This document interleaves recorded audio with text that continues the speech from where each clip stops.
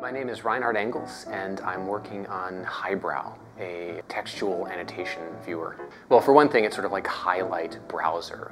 Highbrow shows you a visualization of a literary work and the regions that different commentators uh, have found interesting, either individually or as a group.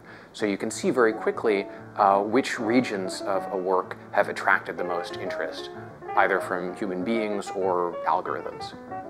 For example, uh, let's take the Bible. The Bible's a great example uh, because it's got this great coordinate system, book, chapter, verse that has been used for uh, hundreds for thousands of years uh, by different commentators.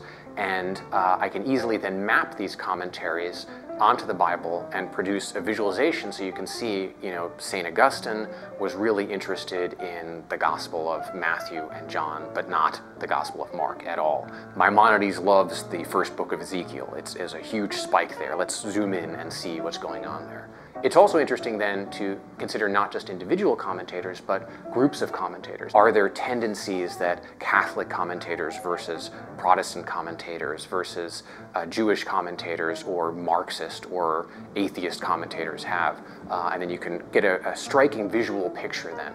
So one thing that's cool is you can also do interactive searching. So you can map uh, what regions, like you can put in just sort of arbitrary search terms or regular expressions, and then see a graph of where these terms occur in a literary work and whether these coincide with different uh, regions of, of critical interest. Looking at these aggregations is kind of the way to dive into this. So I have them by default grouped by century, so you can see what do 15th century commentators find interesting as opposed to 19th century commentators as opposed to 21st century commentators. We also have it being used in two classes on uh, Emerson's works. And in these classes, uh, instead of uploading existing annotations and visualizing them from uh, you know, uh, these great authorities from centuries ago, it's the students themselves who are doing the annotating.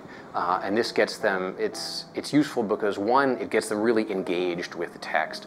Uh, and it also gets them um, engaged with each other and having sort of these conversations that are very focused then around bits of the text. You know, they, they input what questions they have, regions they found interesting, and then a discussion gets started.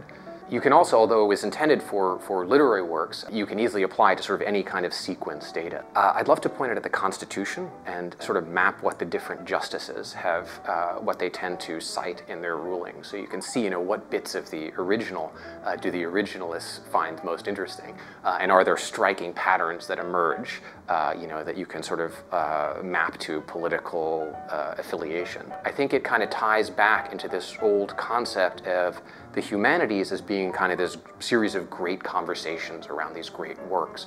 And what Highbrow does is it, it brings technology to bear to kind of continue this, to bring the ancients, uh, you know, what did St. Augustine have to say? Um, what did Longfellow have to say? And students into the same room in a way.